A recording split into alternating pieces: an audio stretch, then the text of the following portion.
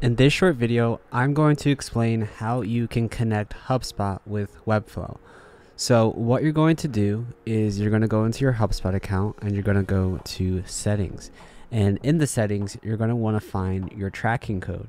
So in the left hand side here, you'll be able to find uh, under tracking and analytics, go to tracking code and then here you will be able to grab your code. So once you're here, you'll be able to copy the code. So just click on copy and then go to your Webflow site that you want to add that code to.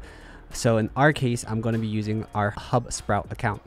So we're going to go to project settings and from here, we're going to go to custom code before we dive into the rest of the video, we'd like to thank our video sponsor Cartfuel. Cartfuel is the easiest and quickest way for you to accept one-time and recurring payments in HubSpot. All you need to do is connect your Stripe or PayPal account, configure your payment form by adding countdown timers, coupons, or order bumps, then copy and paste the code they provide you onto any site, including WordPress or HubSpot pages. Did we mention Cartfuel has one-click upsells? That's right, your customers can order more products without having to re-enter their credit or debit card with a single click. But you want to know what's the best part? When a sale occurs with Cartfuel, your customer's name, email address, phone number, and products they purchase will teleport into HubSpot.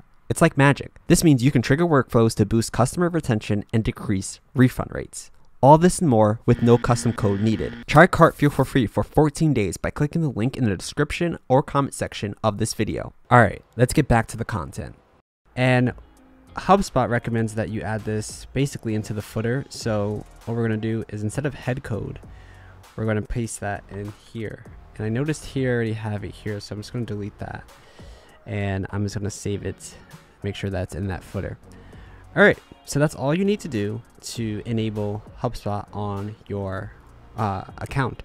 So now once people go to this site, HubSpot will start tracking them and we can make sure that we get the right data from the people that go to our site. If you like this video, make sure to subscribe, hit that like button, and leave a comment down below if you have any other suggestions about other pieces of content you would like us to uh, create. Thank you guys for watching, and we'll see you in the next video.